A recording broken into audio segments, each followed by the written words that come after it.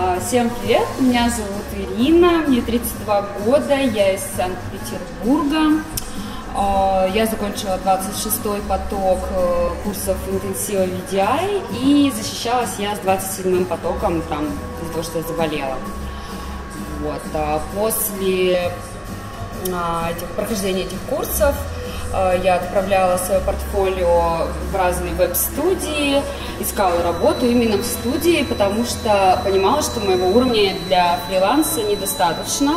Я бы не смогла дать то качество, которое мне бы хотелось давать заказчикам, поэтому я решила сначала прокачаться через студию, искала работу один месяц и однажды просто отправила свое портфолио в студию Артемия Лебедева и меня взяли. Теперь я в Москве.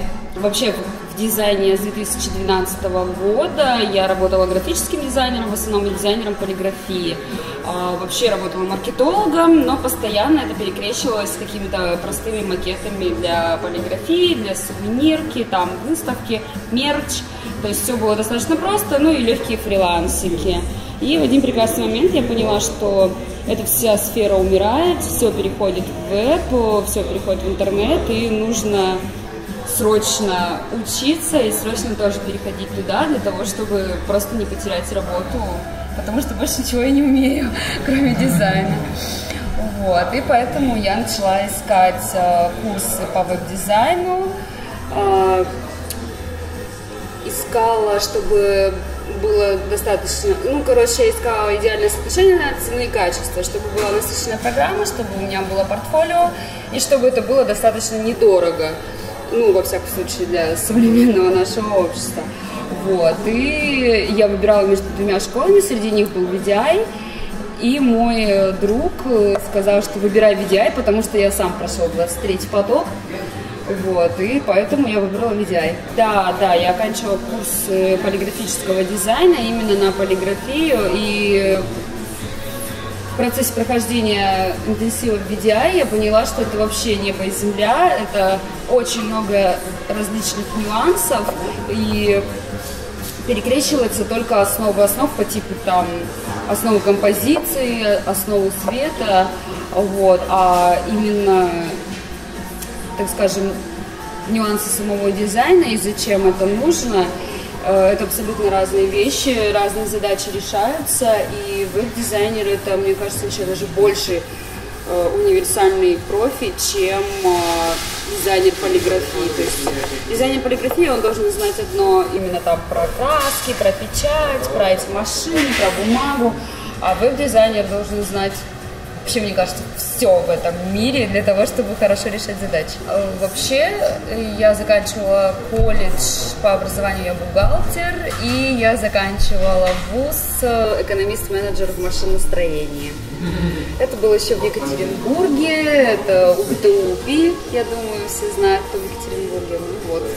И ни дня я не работала по специальности, вообще никогда. О, это было очень тяжело. Это было очень сложно. Это было очень больно. Это просто иногда я не могла смириться с критикой абсолютно от слова совсем. А, иногда я заваливала задания, ну просто там не успевала из-за работы, из-за еще из-за чего-то.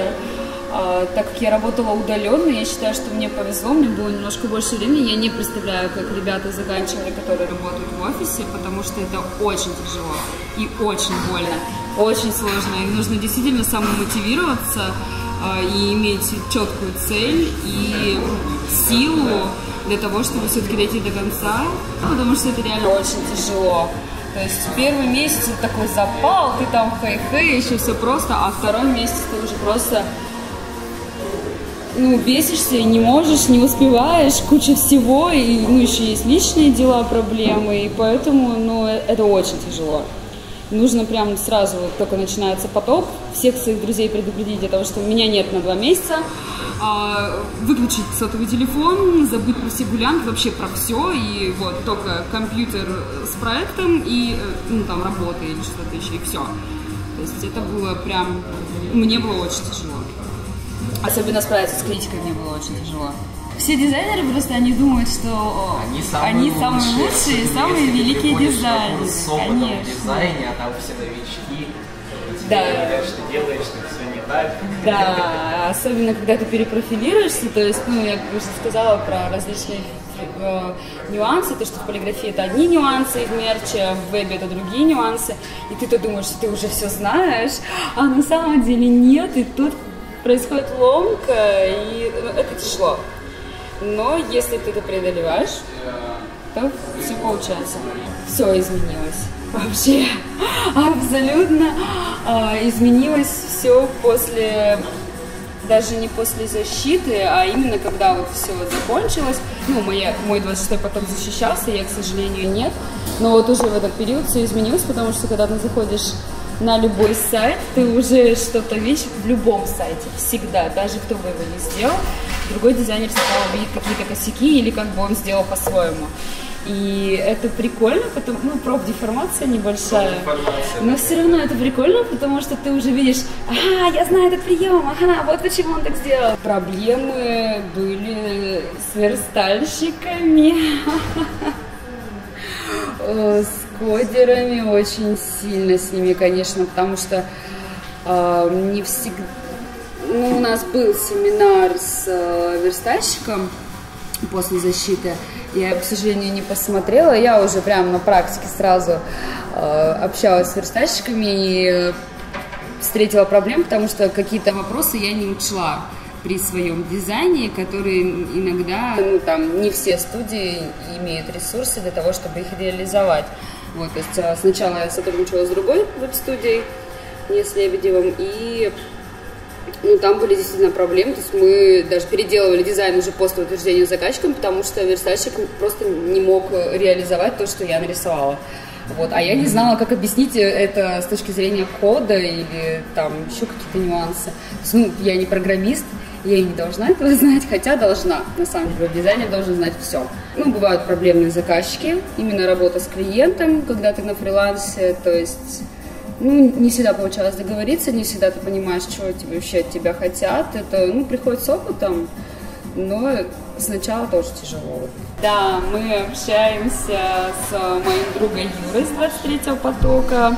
Юра Данилов, привет тебе. Вот, а еще с парой девочек, девочек мы общаемся с, с моего потока с 26-го. Ну и вот э, от Димы я получила отклик и поддержку, э, когда я написала ответ на его пост, когда он переживал и нервничал, что все хорошо, и я тоже переживала и нервничала, хорошо ли у меня, и, ну, это сложно, когда такие перемены в жизни. И он ответил, и мы поддержали друг друга, и это классно, что такая маленькая секта BDI, и ты должен помнить, что ты не один, даже после того, как ты закончил интенсив. Из Москвы я не уеду, пока я не стану арт-директором.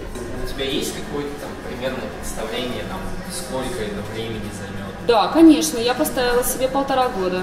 Полтора года в арт-директоре? Да, это прям максимум. То есть э, э, какие-то промежуточные результаты я буду чекать сама себе в марте следующего года, потому что в марте у меня вот это вот все затянулось, закрутилось, завертелось и переехала сюда, в Москву. И вот через год я буду чекать свои промежуточные результаты. То есть если я уже стану сеньором, я считаю, что это уже результат. А если не стану, то буду смотреть, что я делала не так. Ну, я думаю, что стану. Ну, определяться с профессией, решить вы- вы- выбрать веб, ну, в вузах не учат на веб-дизайнерах. В вузах учат э, там градостроительство, ну, в архитектурных и так далее. Но если ты чувствуешь э, к этому тягу, то сто процентов надо идти. И потом уже как э, под профессию выбирать веб-дизайн. Если вы выбираете веб-дизайн, Обязательно идите, потому что в этой сфере еще можно снять сливки, еще можно как-то заработать, как-то продвинуться. В остальных сферах дизайна уже точно нет, уже все занято, попилено и поделено. Но тоже уже придется постараться, потому что каждый второй веб-дизайнер, каждый третий фотограф, каждый четвертый у нас маркетолог, э, все творческие личности, и будет тяжело. Но это можно, все зависит от вас. Мне хватает.